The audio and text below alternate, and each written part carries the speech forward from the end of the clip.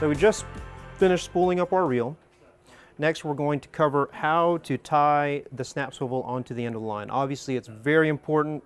Um, with high-speed wahoo tackle, uh, you're going to be pulling loads of tackle at a high rate of speed, and uh, it's very important this connection to your snap is very, very strong. So I'm going to cover two different connections. One is the classic Bimini twist, and then I'll show you how to do a hollow core loop splice. We're going to start with the Bimini. We're going to take about uh, four foot of double line, separate the two strands, twist.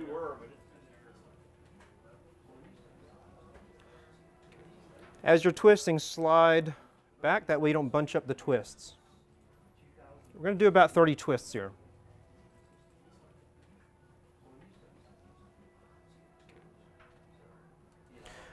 Next, I'm going to anchor it.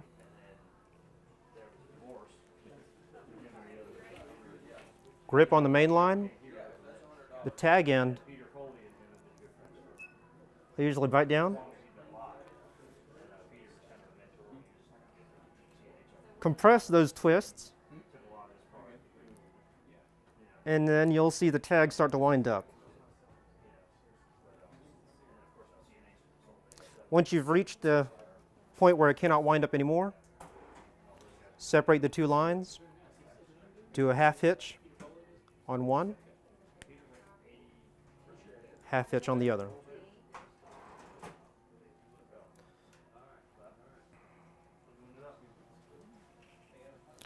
What we'll do is get all the twists out. That way we'll have Okay.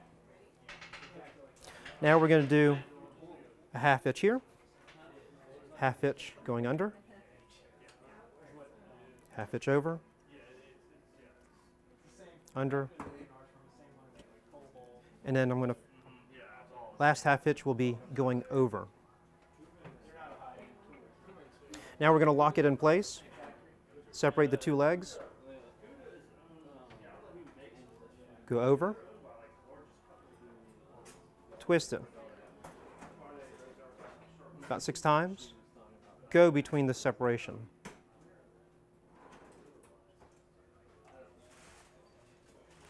Pull back on the loop just so it doesn't collapse.